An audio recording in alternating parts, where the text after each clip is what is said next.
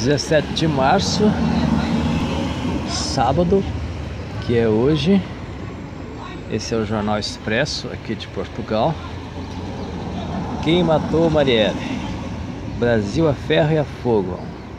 Marielle vive. Aqui é a foto principal desse jornal de Portugal.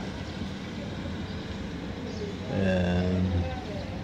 Esse jornal, estou procurando aqui quantos anos já existe esse jornal. Não estou não tô conseguindo ver aqui na capa, mas é a principal foto tá, de capa né, do, do, jornal hoje. Vamos ver assim, correio. Não, correio. Não vejo nada sobre o assunto.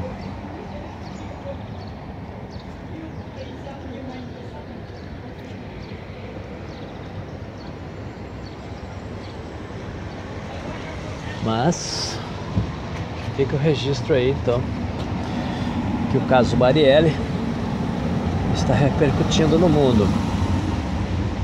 Nós vimos ontem declaração do Bolsonaro dizendo que é apenas mais uma negra que tombou, como se matar uma pessoa fosse como matar uma mosca. E o coronel que é comandante da PM do Rio de Janeiro também não entendo porque todo esse barulho por causa da morte de uma pessoa, é que representatividade tem ela?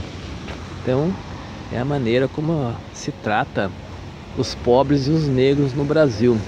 Quer dizer, se trata como um como lixo, como algo descartável ou pessoas que se pode matar impunemente, como aliás já aconteceu.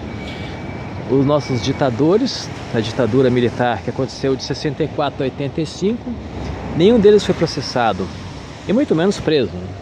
Já na Argentina, Morreu há pouco tempo, há poucos dias, o Bignone, que foi um dos os presidentes militares argentinos. O Videla também esteve preso. Bignone também foi punido pela Argentina. Canal Brazuca, Fora da Matos, por favor, se inscreva no meu canal.